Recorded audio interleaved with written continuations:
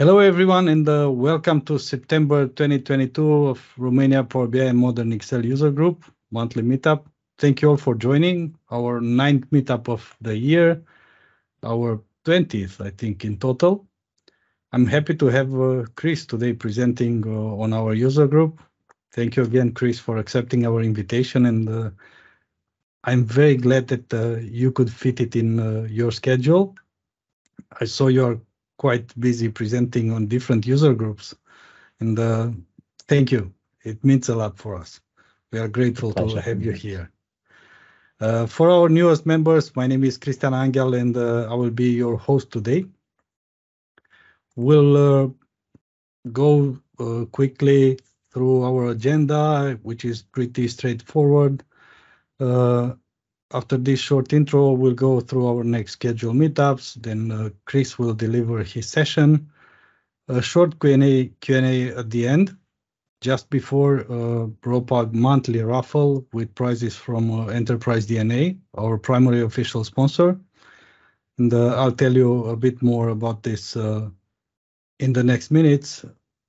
My usual slide, the organizational stuff. Please make sure that uh, your microphone is muted uh, during the uh, meetup and your camera's video is turned off. Type your questions or comments in the chat area. I've tested it. It should work. Prefix your questions with a Q in front so I can spot them easier, so we can address them to Chris at the end. And if you have any problems with the internet connection, please drop off and join again.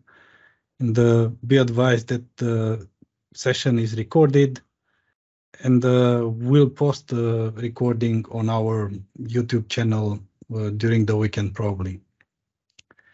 Speaking of next meetups, in October, we have Matthew Roche coming on the 27th, again in an online um, meetup with a session on building a data culture with Power BI. And then on the 24th of November, we have Melissa de Korte, uh, an Enterprise DNA expert coming with a session on Power Query, actual problems from the real world, and some very good examples that uh, she'll bring in front of us. Uh, If we spoke about future meetups, you can uh, check our past meetups uh, with uh, bit.ly ropag_history on our YouTube channel. Everything is recorded, and I'm pretty sure if you are new to our user group, you'll find a lot of useful sessions there. Speaking of Enterprise DNA, since last year in August, Romania Power BI user group was the first user group in the world to have them as sponsors, and they are offering uh, on each meetup three full memberships on their site, approximately $1,500. And in order to participate in the raffle, uh, make sure you scan this QR code or go to the uh, URL and fill up the form. Check the uh, option that you want to participate in the raffle, and uh, in the end, we'll uh, spin the wheel of names to see who who's winning. During the meetup, I will post a link. Don't worry, I will put it in the chat, so if you haven't had the time to scan it, we'll have it in the chat.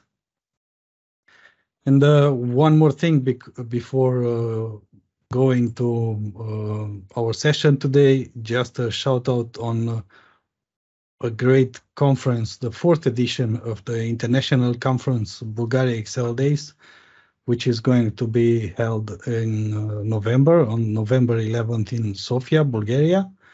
For the fourth year, the event is organized by IT Training with the courtesy of Microsoft Bulgaria, Uh, bringing together some of the world's most famous experts in the field of Microsoft Excel, Power BI, Power BI, VBA, financial modeling, and data analysis and visualization.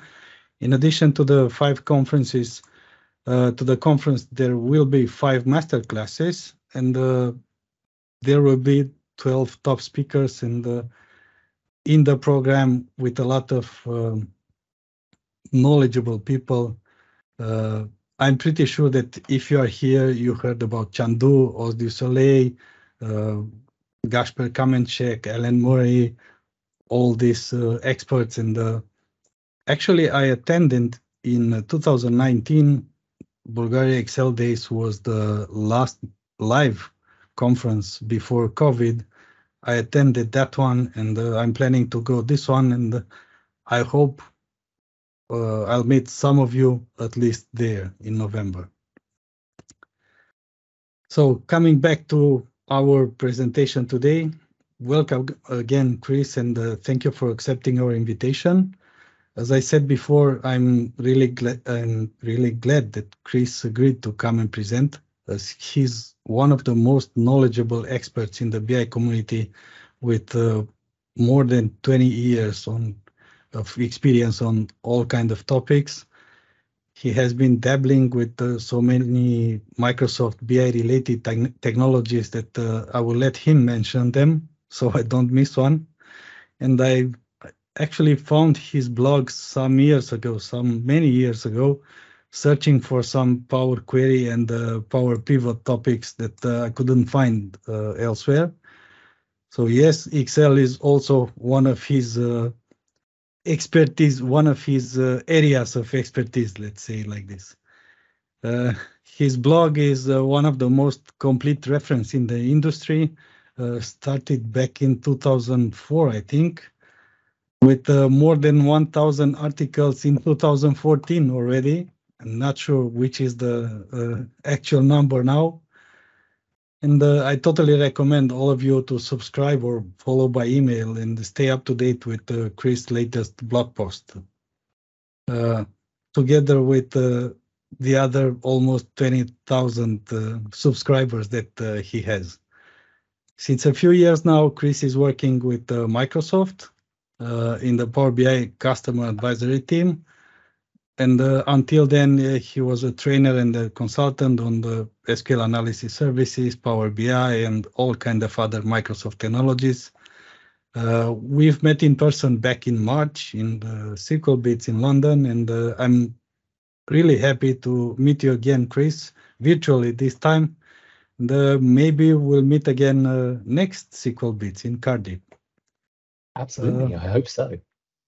Please, a few words about you, and the stage is yours. Well, thank you. Um, I think you you pretty much said everything that um, that there is to say about me. Um, probably the only thing that I'm going to say. Well, I'm going to say two things in advance. Um, first of all, I am definitely not an Excel expert. I know some bits of Excel very well, but um, I am not going to pretend that I am an Excel expert. Uh, so if I say something that's that's wrong about Excel, forgive me. I know Power BI very well, but um, Excel is more of a passion than a, a, a day job. the second thing is um, I've noticed doing presentations recently that um, whenever I have video on in Teams, it really makes my presentations go slow when I'm sharing my screen. So uh, I'm going to keep my video on for a few more moments, and then turn it off. Um, I'm going to turn off incoming video as well. Uh, if for whatever reason I accidentally mute myself or I disappear or something goes wrong, somebody please unmute themselves and just say, hey, Chris, we can't hear you. Um, so uh, please I'll do that here. for me. Thank I'll you. be here. Cool. All right. Well, let me turn off my camera and start with the presentation. So as I said, I work on the Power BI CAT team, but there is no Power BI at all in this presentation. This is a, a pure modern Excel presentation. And I got the idea for this presentation talking to another Excel MVP, Celia Alves, um, a couple of months ago, because I do I do like to blog about Excel BI features, and you know she she set me a challenge. She said, well, you know, Excel has got some really cool new features recently. Does this mean that Excel is now a much better BI tool than it was? does this mean that we don't actually need Power BI anymore? You know, how good of a BI tool is Excel? And, you know, in particular, and I think this is relevant for, for everybody here, what's changed in Excel recently? You know, a lot of the BI functionality in Excel is, is now quite old. It goes back to what 2007 or wherever, whenever Power Pivot first appeared. So what's changed recently? You know, if you formed your opinion of Excel as a BI tool 15 years ago, does anything that's new in Excel make it more likely for you to want to use Excel as a BI tool? That's what I'm going to talk about today. Um, in terms of the scope for the presentation, I'm going to limit myself to Excel on the desktop. All of my demos will be on Windows. Of course, I work for Microsoft, but I will mention a few things about Excel on the Mac. I don't have a Mac. I'm not going to be knowledgeable about the Mac, but there's a few things to say about it. And I am also going to show some demos with Excel Online. I am going to assume you have the very latest uh, version of Excel. Um, I have a, an insider's build, but I'm going to assume that you've got at least a Microsoft 365 subscription and you're using a fairly modern build of Excel. And I am going to allow the use of Power Automate. So there may not be any Power BI, but I do think Power Automate is really essential for some of the things that I'm going to show you. Basically, what I'm going to do in this presentation is go through various different types of BI that you uh, that you might consider. Because you know, when people talk about BI, they might mean lots of different things. So I'm going to look at lots of different forms of BI, lots of different interpretations of what BI is, and see if we can implement them in Excel and how well we can do it. All right, so let's start with that first question. What do you actually mean by BI? Because like I said, it means a lot of different things to a lot of different people. The simplest form of BI is literally just running a query against a database, getting a table of data and putting it on the worksheet. And then maybe, I don't know, you could print it out uh, and stick it on the uh, notice board at work or something like that. Something a little bit more complicated would be parameterizing that, you know, entering a date or a product or a store, and then pressing a button and then getting the uh, table of data filtered for that date or store or product. Moving on from that, we might want to take that approach and instead of making this a manual process where everybody has to go into Excel, type in some parameters, press a button, and get the results out, you might want to automatically run these uh, reports on a schedule and send them out somehow. And then, of course, you might want to do something completely different, but also BI. You might want to do exploratory analysis. You want to slice and dice your data. And then finally, you might want to build interactive reports and dashboards, the kind of thing that Power BI is really good at. So let's go through each of these and see how well Excel can do them. Okay, so the first, the simplest form of Excel, like Excel BI, is going to be running a query and getting the results of that query against the database into a table on the worksheet, and maybe parameterizing this. Now, the good news is that this is really easy to do. This is something you can do with Power Query in Excel, and something you've been able to do pretty much ever since Power Query first came into Excel. So let me demonstrate what I mean by this. I've got an empty Excel workbook here. This is, like I said, Windows Excel. I'm going to go to the Data tab where I get hold of the Power Query options. I'm going to go to Get Data from Database from SQL Server Database. I have SQL Server running on my local PC. I'm going to connect to it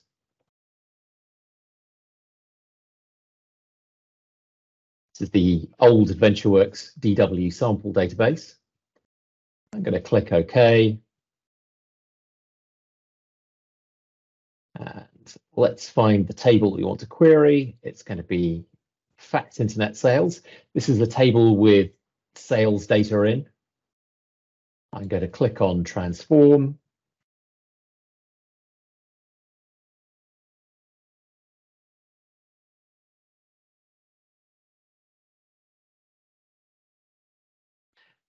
And then here, well, there's a lot of columns. So what I'm going to do is I'm just going to choose the order date.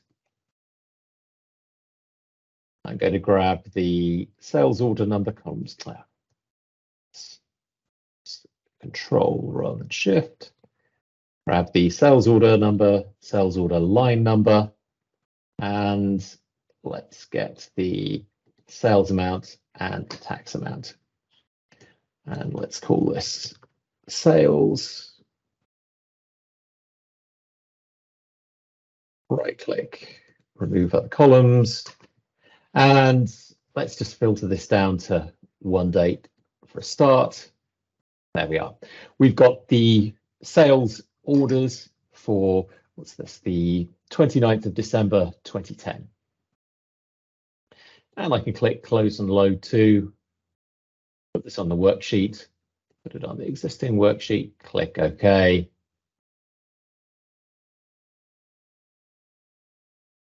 There we are. So we've done the simple thing and got our table of data.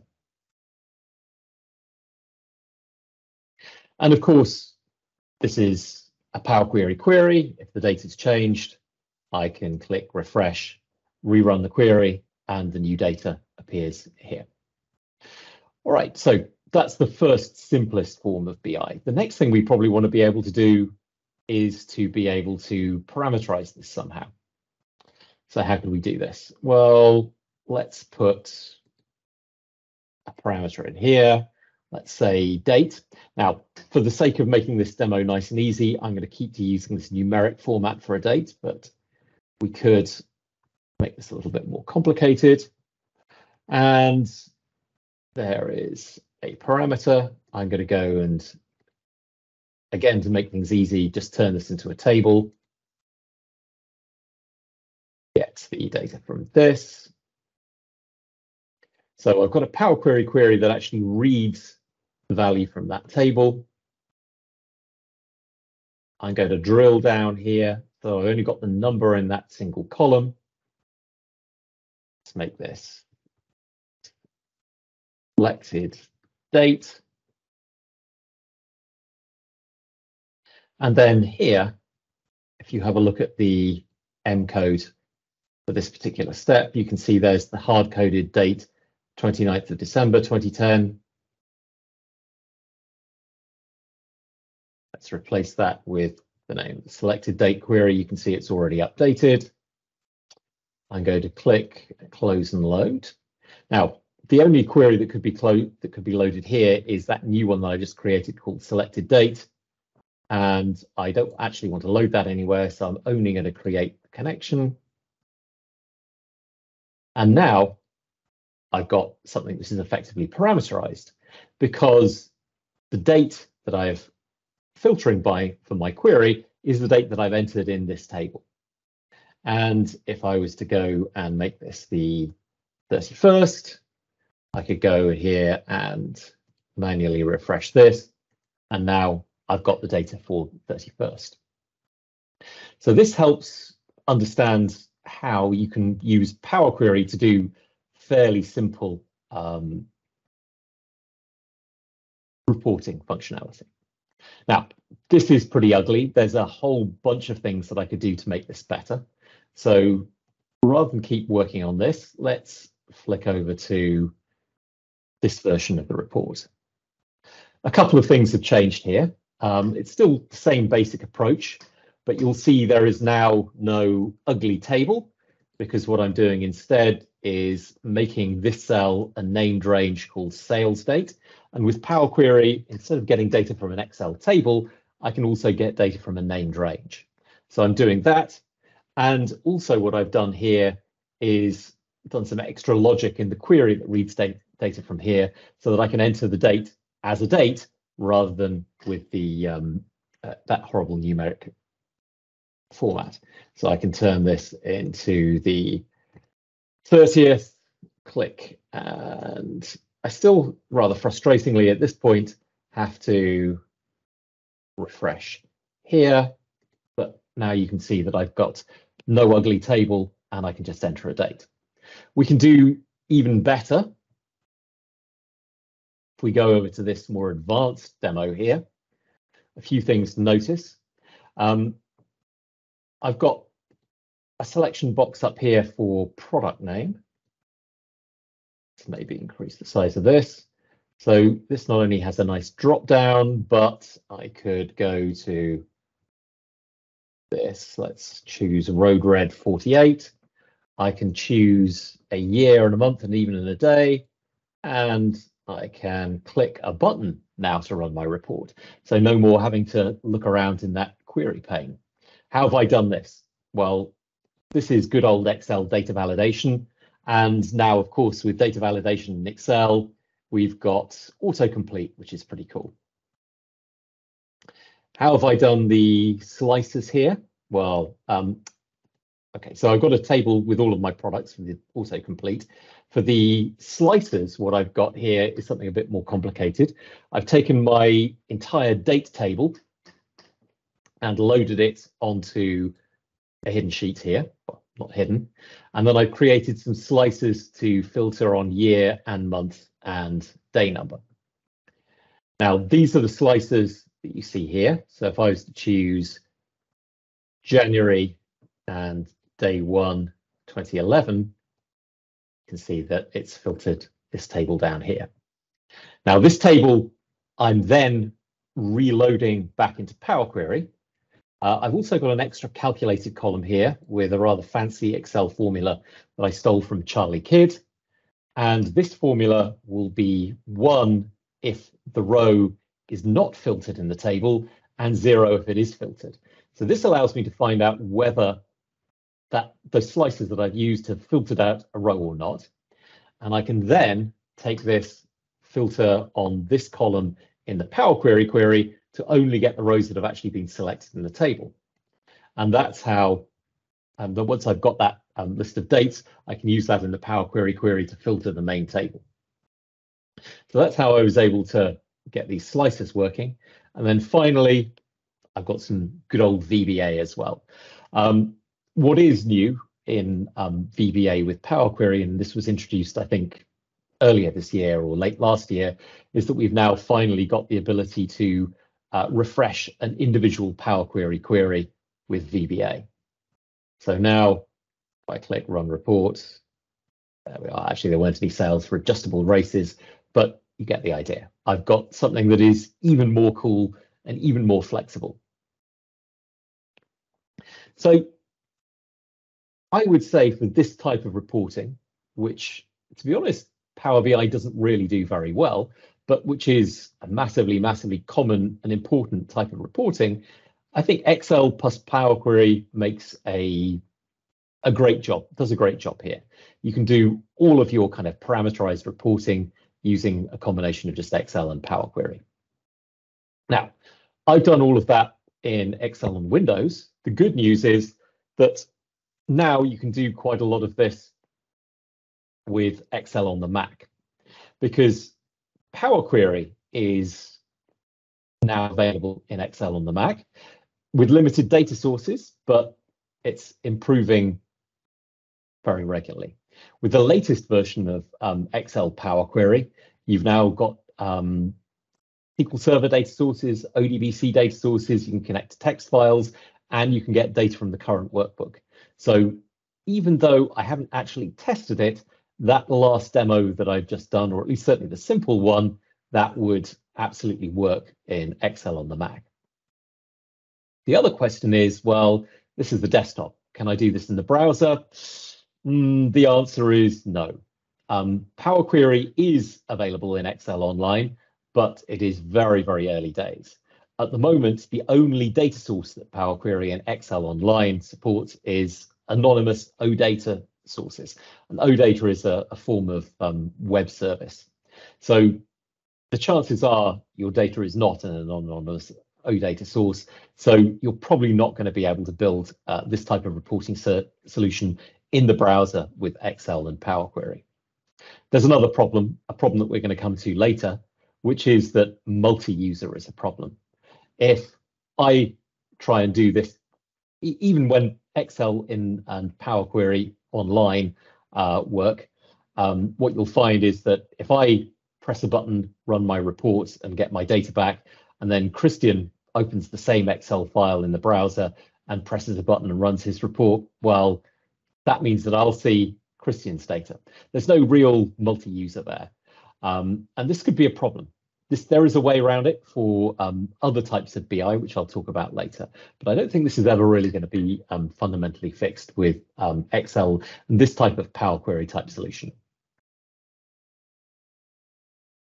Building on this, so far what we've seen is a simple parameterized report that returns tables of data.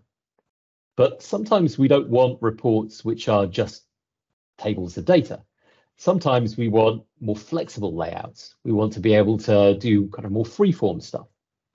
Now, of course, if we've got a table of data, we could just use VLOOKUP or XLOOKUP if we're being modern to extract values out of the table and put them into different cells, which is pretty cool. But the thing I wanted to show you next is another way of taking the data from your Power Query query and creating more flexible layouts. Let's see how this is done. So if we go to here, I've got another type of report. Uh, it's the same data. I've got sales order numbers, um, but what I'm doing is I'm now able to change my sales order number. And you can see the customer name, the customer occupation, the product name, the color, the sales amount, the unit price, and the tax amount. They all update when I choose the sales order number. So I've done this using a feature called linked data types. You might have played with linked data types. Um, there are all kinds of built-in linked data types for you know, stocks and geographical data. But as well as um, getting Power BI data this way as well, your Power Query queries in Excel can return linked data types. So let's see how I've done this. If I open up the Power Query editor here,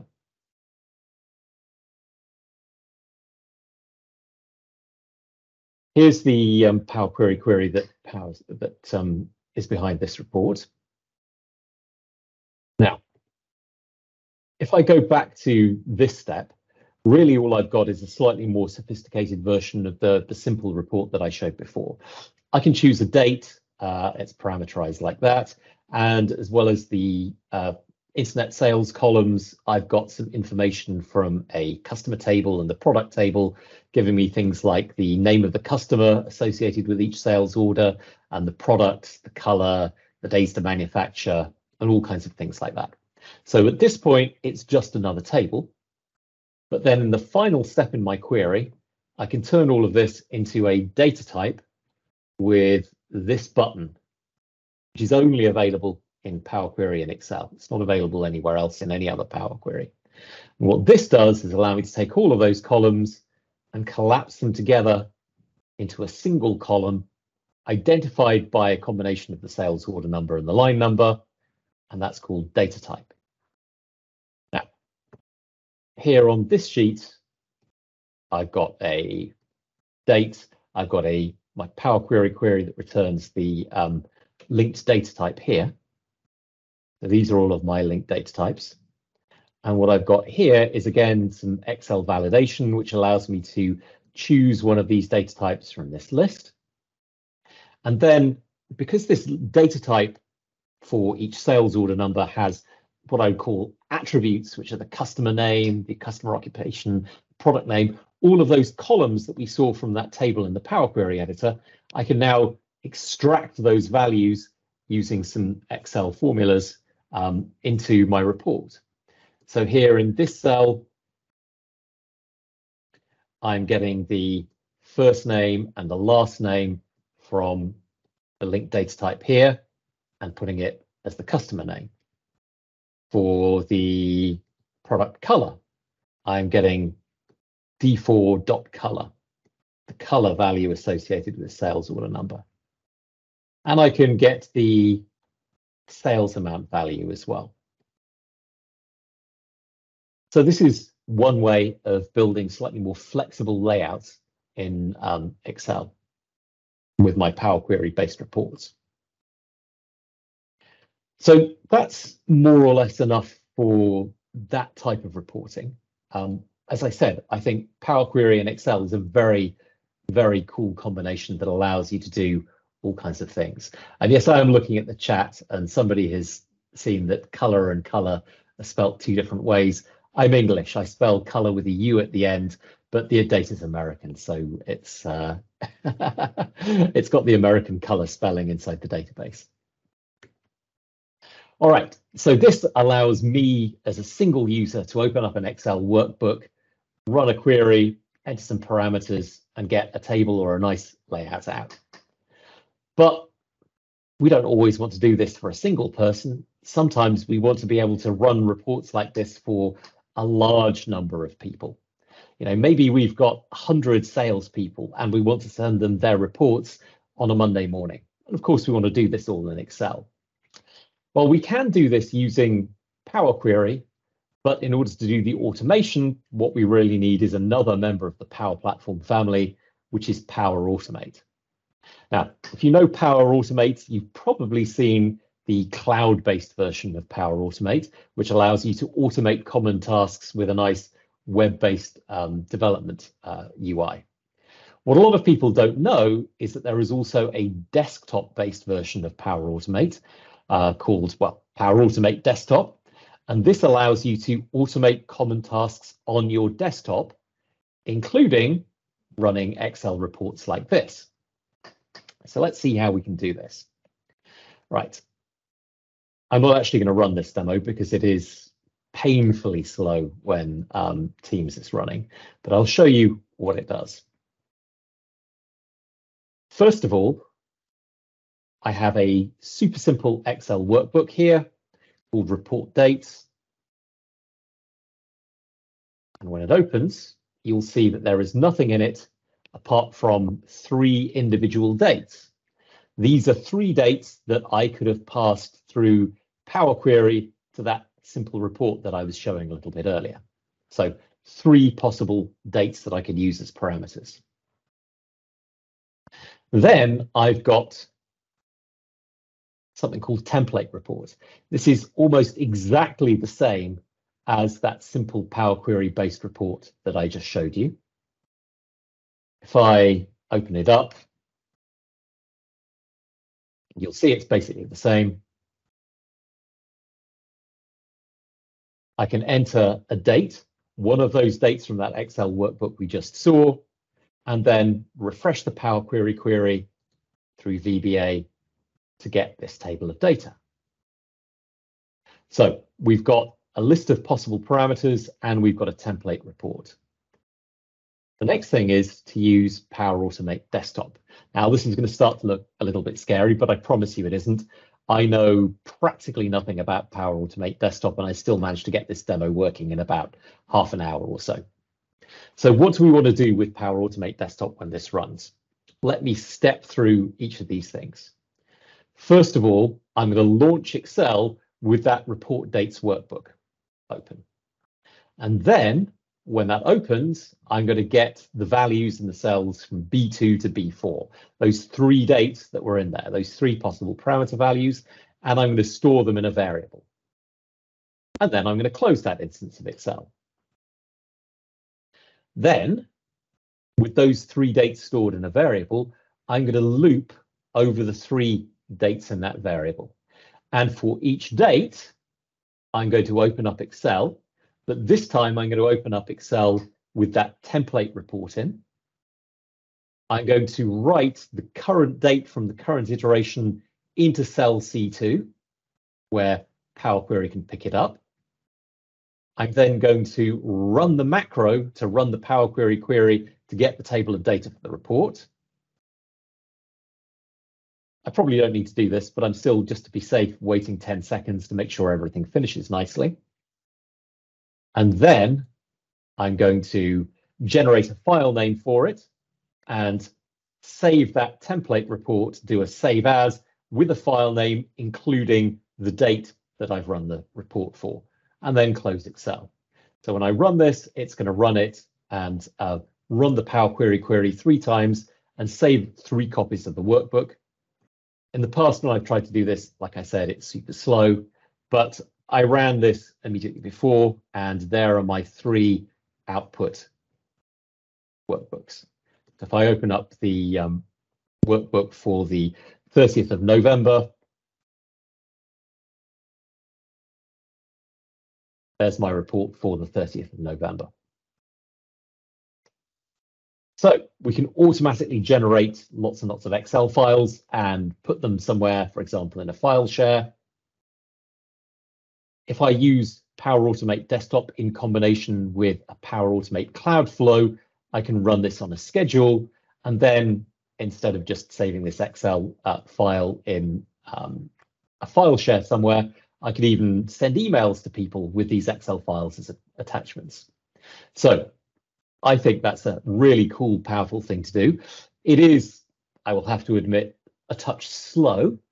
Um, usually when I run this without Teams running, it probably takes two minutes to run these three Excel reports. I suspect I could probably do a bit of tuning, but yeah, I think this is a viable solution for report bursting, for automatically generating these reports. The downside of all of this is you need a Power BI, a Power Automate license, which is going to cost some money. But I still think compared to pretty much any other solution, this is probably the, the cheapest, most efficient way of just automatically generating Power Query based reports. Um, something that I'm going to show briefly, but I'm not sure is, is quite ready for BI yet, is Office scripts. So you probably know if you're an Excel fan that VBA is the good old mature automation option, but it's not the future. VBA doesn't work in Excel Online. And if you want some form of scripting language for Excel Online, you've got to write Office scripts. Uh, and Office scripts allow you to create, uh, record macros and replay them and uh, you know, run tasks again on a schedule through Power Automate if you want.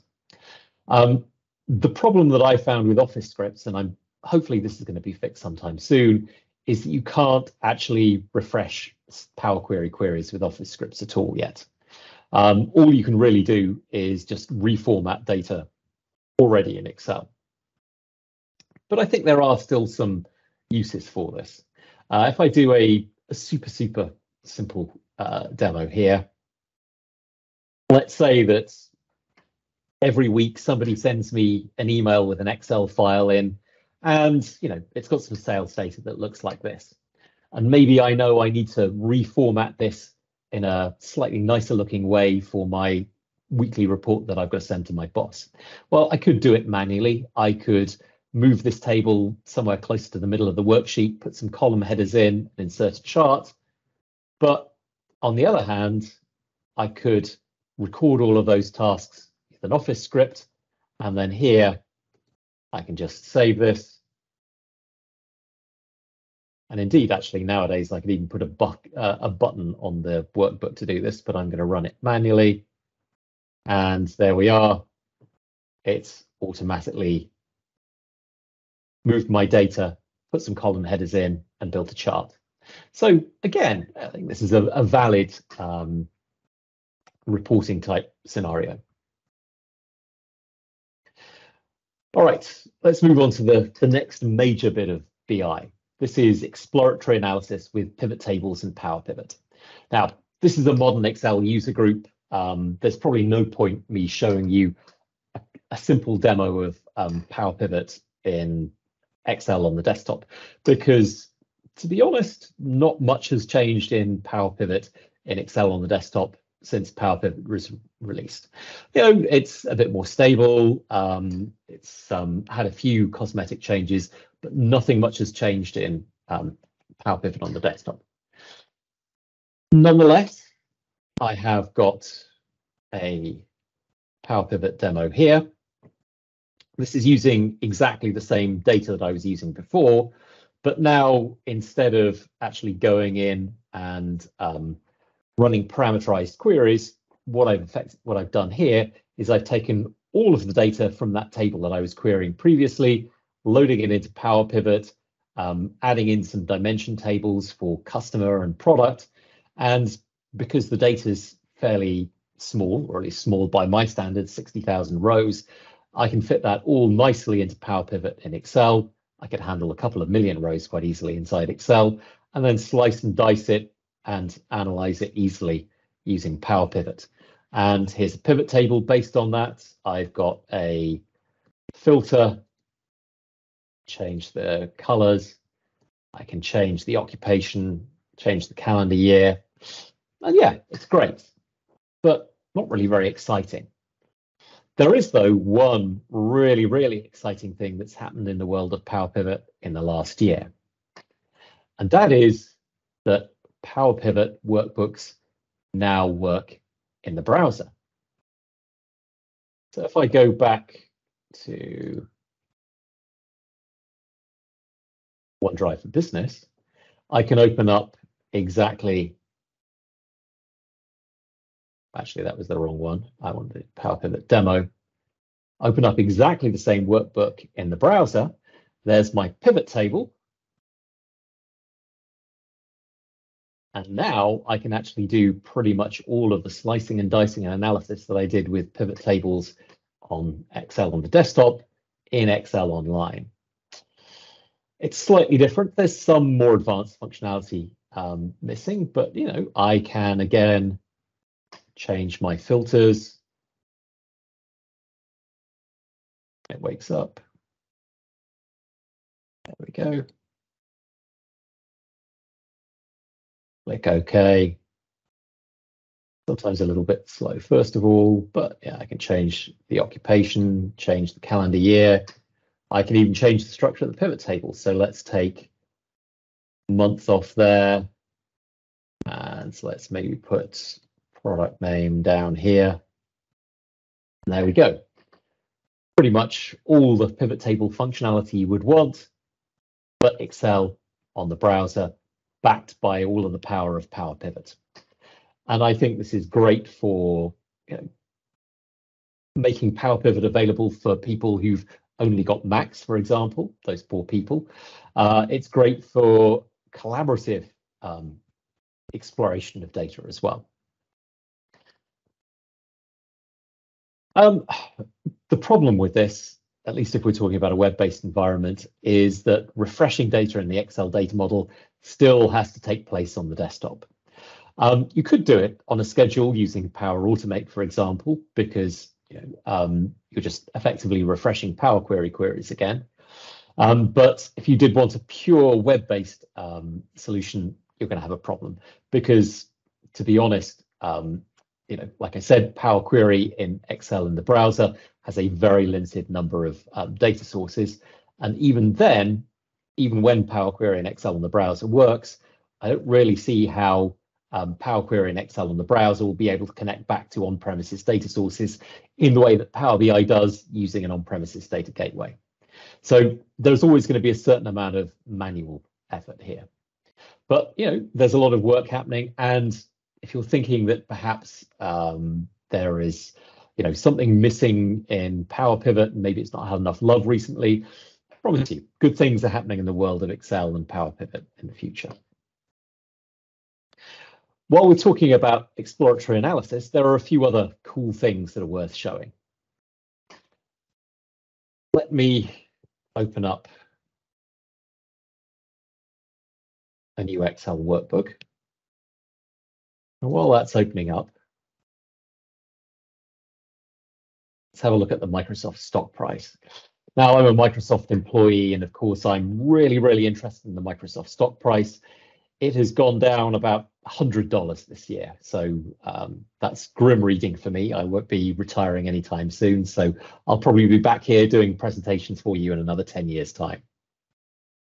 But here's the web page on Yahoo with all of these stock prices in. Let's say I want to get this into Excel for some analysis. I could do a copy and paste if some of you here uh, know Power Query well, you would say, oh yeah, Power Query's got some, abil some abilities to scrape data from web pages. That might work here as well. Um, but if you've ever worked with scraping data from um, web pages for data like this uh, using Power Query, you know that the people who build web pages very often build those web pages to make web scraping super difficult. So there's another thing you can do here, which is fairly new that I wanted to demo. Um, it doesn't always work all that well, but you know, we'll try it all the same. Here's my table of data. Here's good old Windows snipping tool that I use an awful lot. And I'm going to take a screenshot.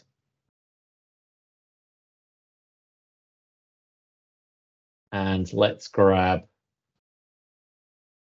all of the stock prices going back to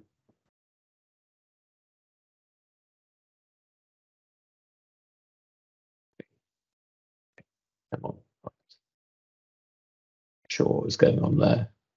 All right let's take another screenshot. Let's grab all of these stock prices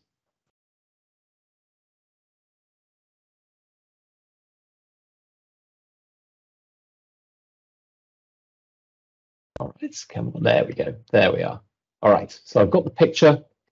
Let's copy it to the clipboard. Let's go to Excel, open up a blank workbook.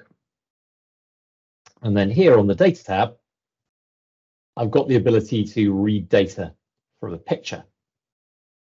I can read it from a file, or I can read it from a picture on the clipboard, like the one I've got. So let's read that data from the clipboard.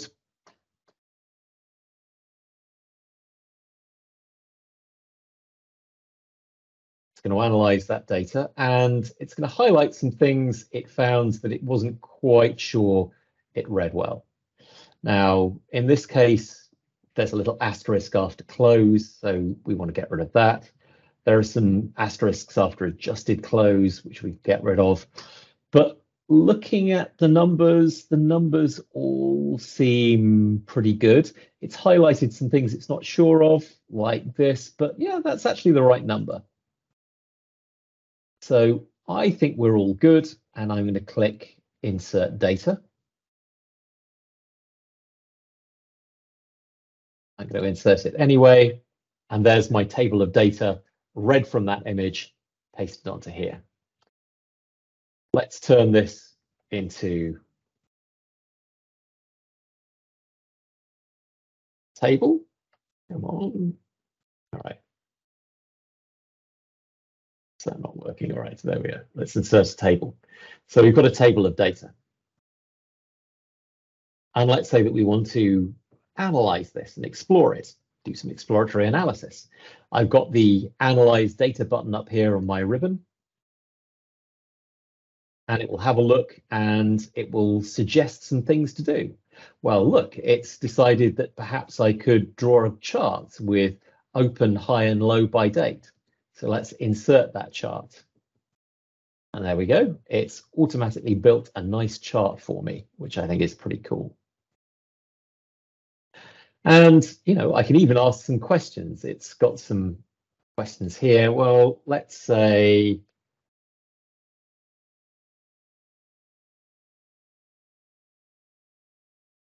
get the dates where open is greater than 260. And yeah, it's found that we could have a pivot chart based on this, automatically filtered based on the query, uh, the text that I entered to only the days where the date is greater than 260.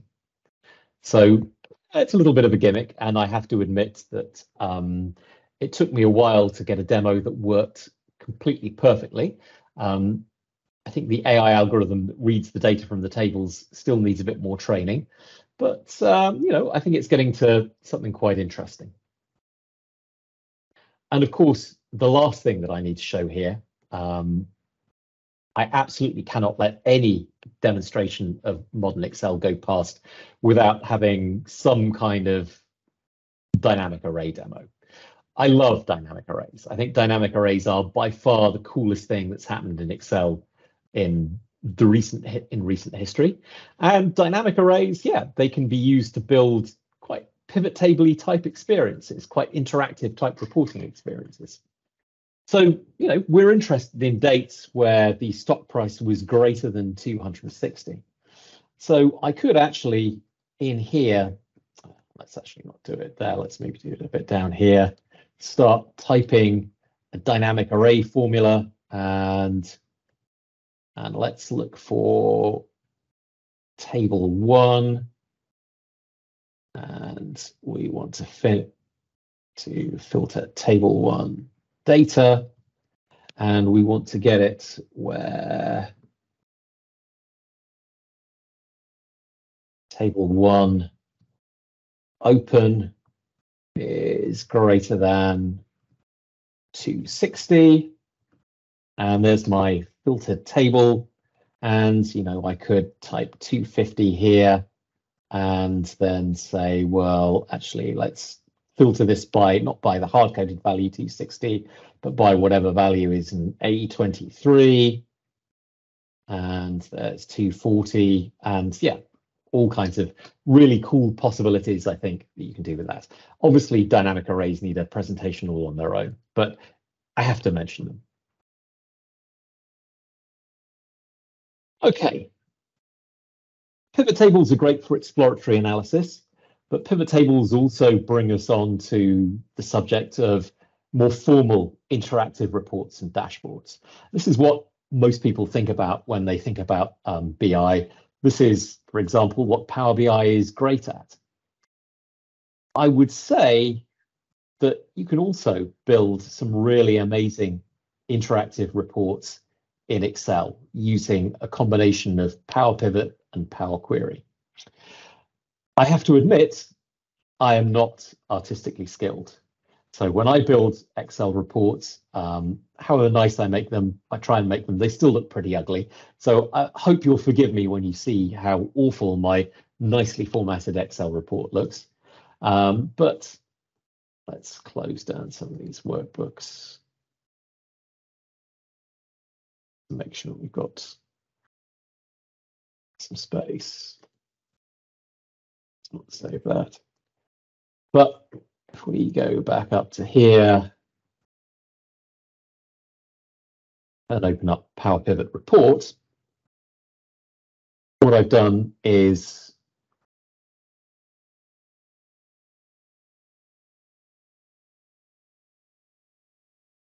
taken what I've done here before and created, well, okay, I've, I've, done the old, at least I've learned the one trick of um, hiding the grid lines.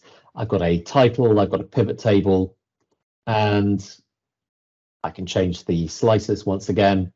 And my pivot table changes, but also you will notice that I've got a pivot chart here.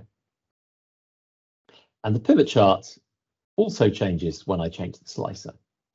Um, probably the one thing that is that I always point out when I'm talking about using Excel for building interactive reports is that it is absolutely key to understand that slicers can control multiple pivot tables and pivot charts when you're connected back to the Excel data model. So for example, if we have a look at this slicer here, I've got a report connections button up here, and that allows me to link this slicer up to my pivot chart and my pivot table. And having one slicer that controls multiple pivot tables and pivot charts is absolutely the key to making really nice interactive reports. The other thing that's worth mentioning, and this is my other favorite feature of um, Excel that nobody ever seems to know about, are Excel cube formulas because pivot tables are not the only way that you get data out of the Excel data model. You can also get individual values out using the Excel cube formulas. And what I've got here, again, is a slicer and some data tied to the Excel data model. But now I don't have a pivot table. I've just got values in cells.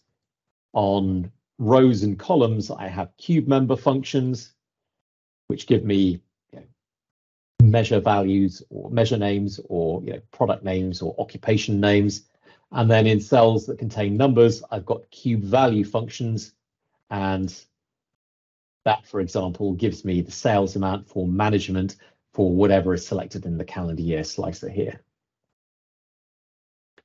And again, this is great for doing more complex report layouts.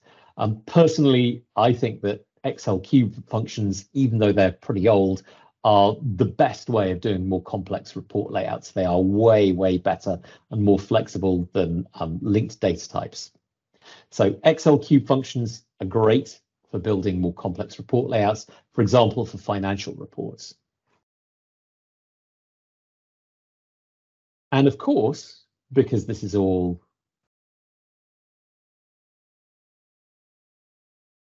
just Excel with um, Power Pivot, I can open up the same report in the browser and it all works there.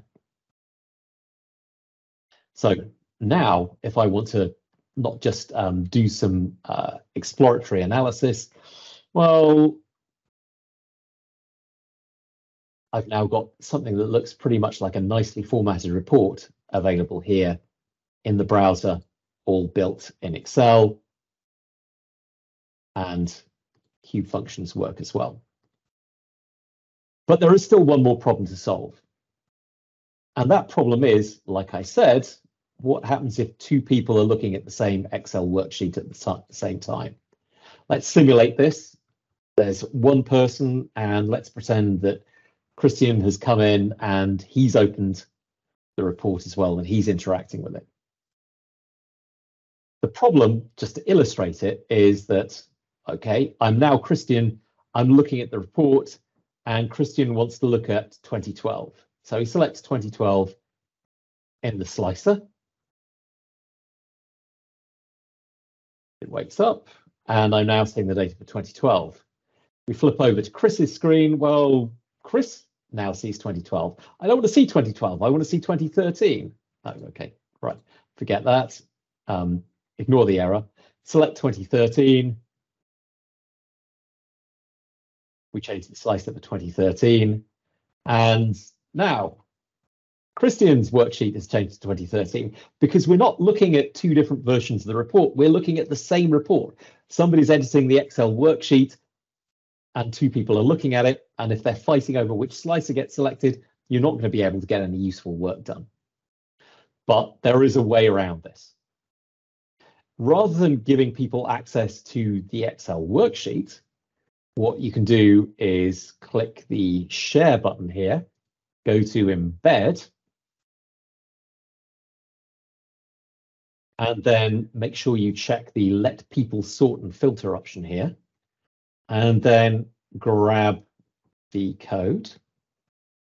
And then what I'm going to do is just paste this into Notepad. So this gives me some HTML code with an iframe in it. Actually, yeah, I could embed the iframe in a web page, but really all I need to do is to grab the URL. And inside this URL, there is a URL parameter which should say embed view equals true uh, somewhere. Hopefully that's going to be, yes, I think it's probably like that.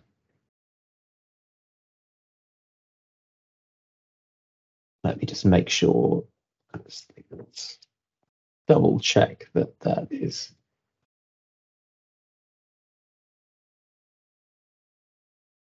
Come on. Because I've done this before and it doesn't always seem to pick up everything. But it's going to be really important that the embed works. All right, let's just do it anyway. I think it's probably got the right parameter in. If I grab this and put this into a new tab, there we go, it's working.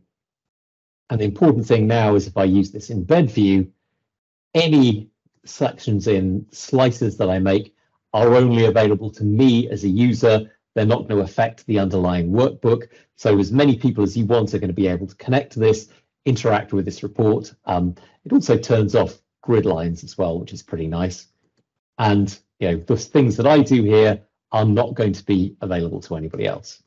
And also, I can't just start typing in any of these cells. The only thing I can do is change the slicer values. So I think this is actually the key to making really good interactive Excel reports that work in the browser.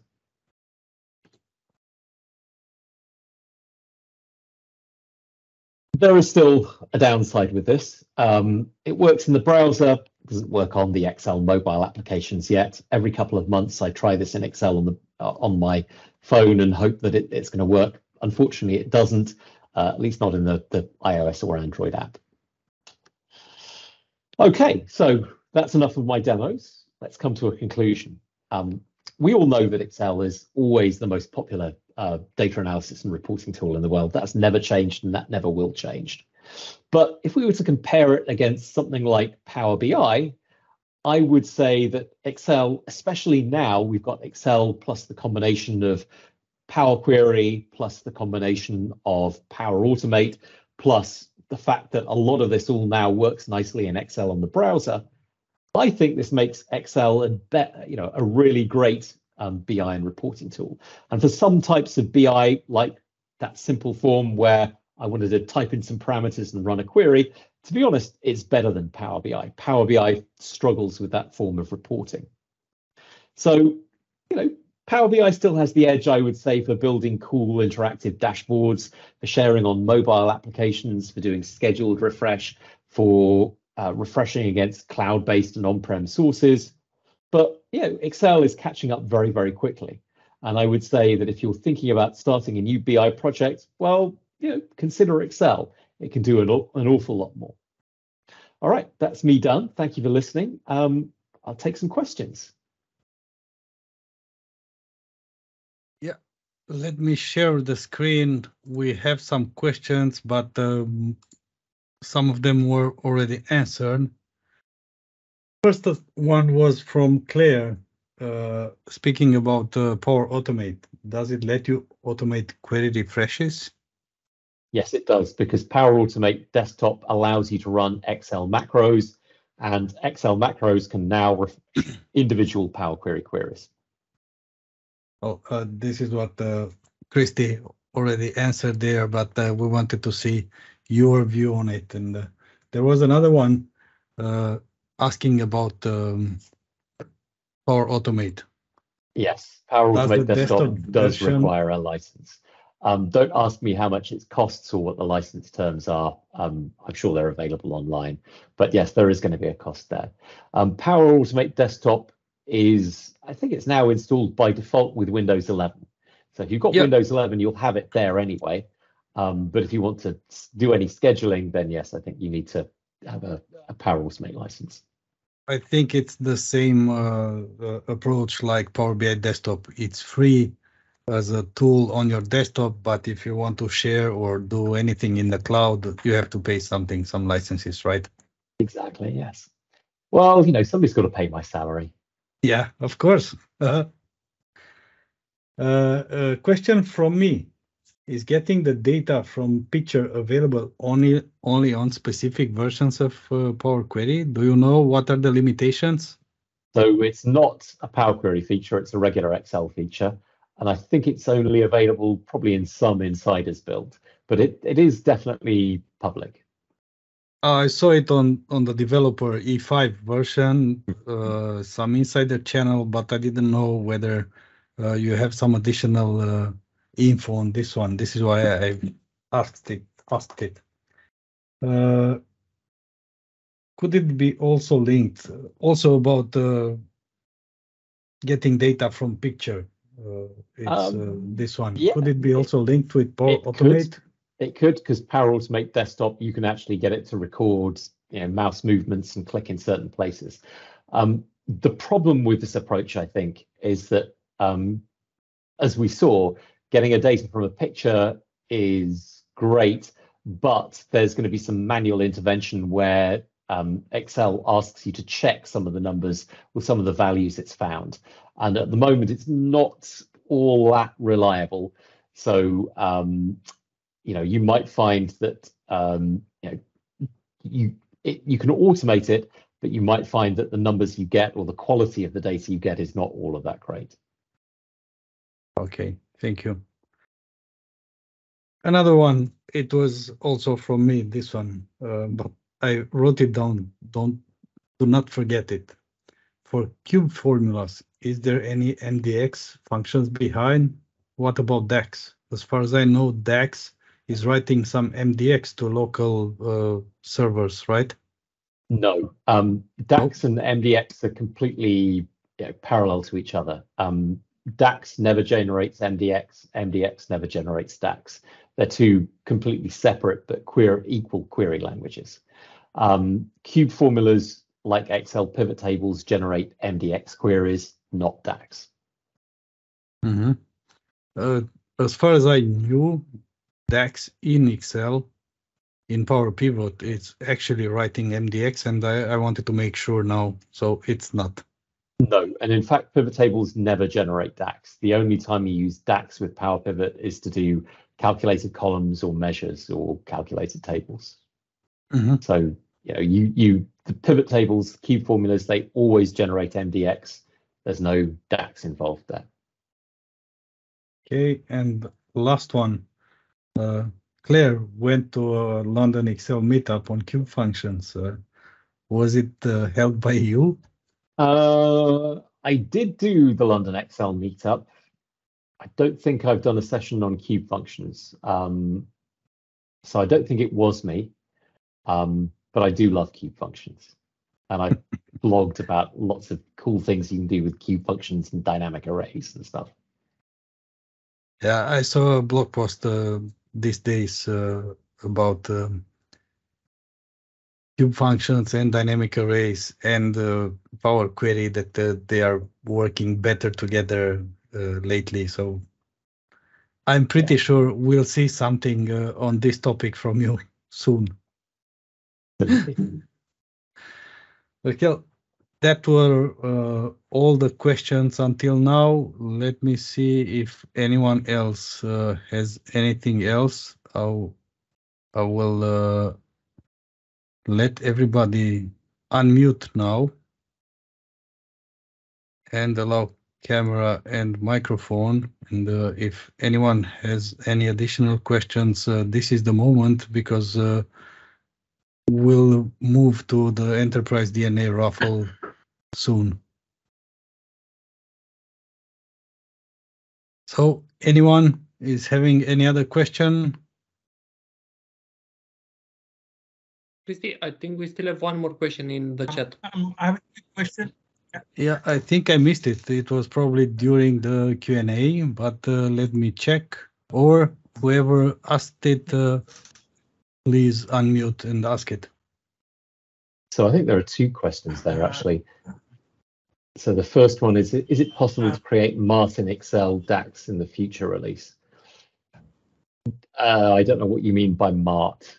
Um, so Rita Brata, do you want to? Data Mart. Data Mart. Data Mart. Data Mart. Yeah. No, if you're thinking about Power BI functionality data marts, that's not going to be there in Excel. Okay. And then we've got another query, another question, which is, can I edit cell values in the embed view? Um, you've got an option that allows you to do that or not. Um, I turned that off, so no, you can't edit cell values when you do that. Um, but you could allow that if you wanted. Well, I think this is it from the questions perspective. Thank you very much. It was a great session as uh, always. Uh, loved it and uh, we'll quickly go to the enterprise DNA raffle now. Let me switch my screen. Is it visible? We should have the world view with the number of uh, participants in the raffle. Let me refresh it and see who do we have. Yeah, refresh. This uh, Power BI report is actually taking data from a SharePoint list, which is uh, filled up with a flow from the form that you uh, fill it up. So uh, at the beginning, we also had the Power Automate inside of it to randomize the IDs. This is the reason why you have the IDs in the email that you got when you registered. And uh, because I found some bugs on it, I gave up on the Power Automate and uh, we are running for now Wheel of Names until I have time to debug it. So the final number of participants, I don't know why is it uh, running so slow. Nine, pretty international. Of course, most of us uh, are from Romania. And uh, let me check the wheel of names and also get the participants here. Of course, we are using our query to get the participants.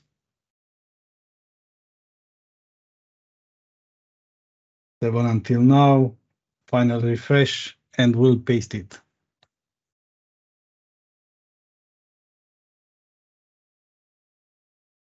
Yeah, as soon as we've opened the videos, everything is uh, working slower. So uh, Chris was right at the beginning. That turning video off, it's uh, helping. So nine participants. Let's ruffle, shuffle the names and spin the wheel.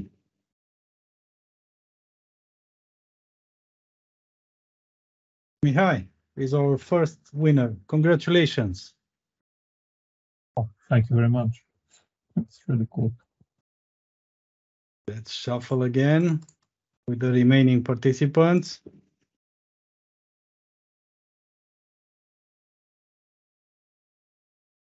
Roxana, congrats. You're the second winner.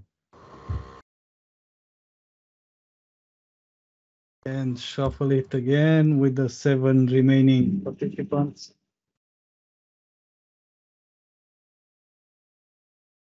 Russell from UK, congrats. I will contact you guys uh, tonight probably to confirm your email addresses and uh, as soon as we we have the confirmation we'll um, uh, write your names in the enterprise dna uh, database. Uh, thank you all again for joining uh, the september meetup of romania power bi user group. Thank you chris for taking the time to come and present to us. It was a really great session. We'll uh, at least me, I'll have to rewatch it. And uh, thanks again. See you in uh, October. Thanks a lot. Thanks for having me. I will stop the recording now, and uh, whoever wants to stay a little bit more for some chit chat and some additional stuff, feel free to do it.